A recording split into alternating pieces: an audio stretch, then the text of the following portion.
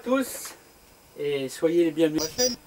Eh bien, aujourd'hui, j'ai taillé un petit peu le, sol tortueux là, que j'ai dans le, fond du jardin, qui est d'ailleurs une bouture, une bouture euh, que j'ai faite il y a quelques années. Ça pousse très vite, c'est assez envahissant et sachez que c'est ça fait partie des arbres qui secrètent en permanence de l'hormone de bouturage.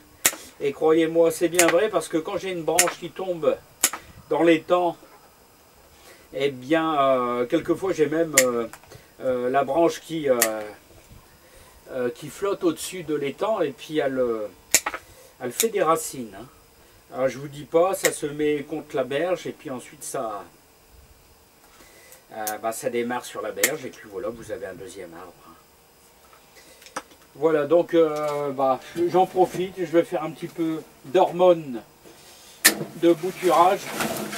Alors sachez que si jamais vous voulez mettre ça chez vous, bah, ça reprend très facilement.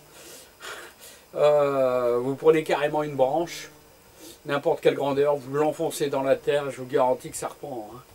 C'est du sol, c'est c'est coriace, c'est terrible. hein. Alors, euh, bah, j'ai décidé, avec toutes ces branches que j'ai élaguées, de faire un petit peu d'hormones de bouturage. Alors, vous voyez comme c'est facile, car euh, il suffit de, enfin, de récupérer des branches de sol, que ce soit du sol euh, carrément sauvage, très commun, ou alors du sol tortueux, couper des petits morceaux de, oh, même pas 5 cm, ça n'a vraiment aucune importance couper des petits morceaux comme ça.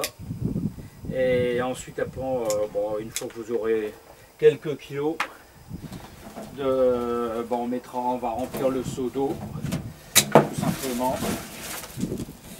Et euh, vous voyez même le diamètre n'a pas vraiment d'importance. Là c'est gros.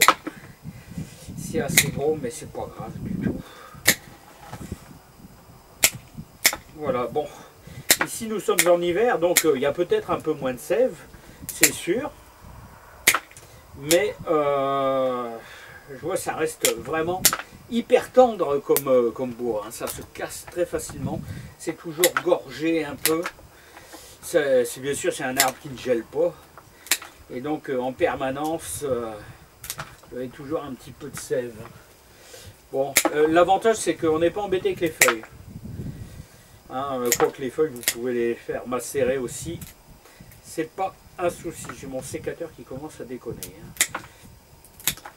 Voilà, donc euh, bah, je vais arrêter là pour la vidéo pour qu'elle ne soit pas trop trop longue. Voilà, donc vous voyez le fameux sol tortueux qui sécrète en permanence de l'hormone de euh, bouturage. Voilà ce que ça donne dans le seau. Hein Bon, là j'ai un petit 2 kg, c'est déjà pas mal. Euh, Je vais encore en faire un petit peu, je vais remplir d'eau euh, à trois quarts le seau, puis je vais laisser ça macérer pendant au moins un mois et j'irai arroser mes boutures avec. hein. Voilà, donc euh, c'est du sol tortueux ici. hein. Voilà, donc si vous voulez faire une bouture de sol, alors là vraiment il n'y a même pas besoin de s'embêter, clac on plante la branche c'est tellement euh, euh, un dur à cuire ce sol que ça démarre du moment qu'il y a de l'humidité. C'est ce qu'il veut lui c'est de l'humidité hein. voilà bien je vous dis à bientôt. Merci. Pas trop trop